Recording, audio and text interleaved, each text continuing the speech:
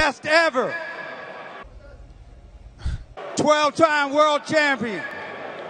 Five different weight classes. The highest paid athlete in all sports. The best ever to do it.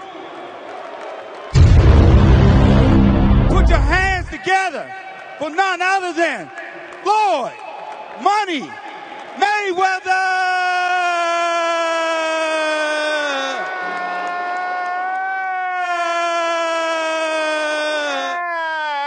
Yeah.